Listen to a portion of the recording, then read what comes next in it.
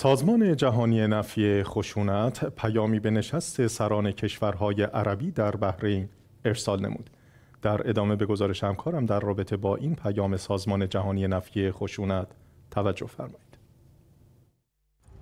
با توجه به برگزاری نشست سران کشورهای عربی در بحرین سازمان جهانی نفی خشونت مسلمان آزاده با ارسال پیامی به رهبران حاضر در این نشست ابراز امیدواری کرد که این اجلاس تصمیمات و نتایجی را به همراه داشته باشد که به پیشرفت سیاسی، اقتصادی و اجتماعی مردم منطقه کمک نموده و همچنین برای افزایش فرصتها به منظور توسعه و رفاه مردم تلاش های لازم صورت پذیرد. به گزارش خبرگزاری اخبار شیعه این سازمان در پیام خود بر اهمیت دستیابی به یک پارچگی بین کشورهای عربی به دلیل مزایای جامع آن که موجب پیشبرد آرزوهای جوامع و رفع نیازهای آنها می شود تأکید کرد. این سازمان از رهبران کشورهای عربی خواست تا در مورد برخی از موضوعات حیاتی مربوط به حال و آینده جهان عرب و جهان اسلام به ویژه در سطح تقویت روابط دیپلماتیک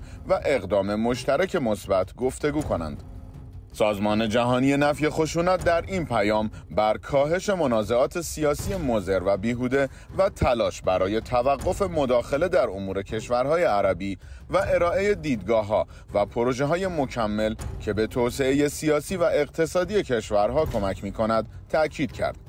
این سازمان همچنین بر اهمیت تقویت حقوق انسانی و ملی افراد و جوامع در کشورهای عربی از جمله حق کار، تحصیل، بیمه درمانی و حق آزادی بیان تاکید کرد و در عین حال رهبران کشورهای عربی را به ضرورت مقابله با ایدئولوژی های افراطی در همه اشکال آن و ایجاد حق مشارکت مردم در تصمیم گیری های داخلی و خارجی توصیه نمود. سازمان جهانی نفی خشونت در پایان پیام خود از کشورهای عربی حاضر در این اجلاس خواست تا برای مقابله با چالش های پیش روی کشورهای عربی به ویژه تهدیدات خارجی مخصوصا مسئله فلسطین متحد شوند.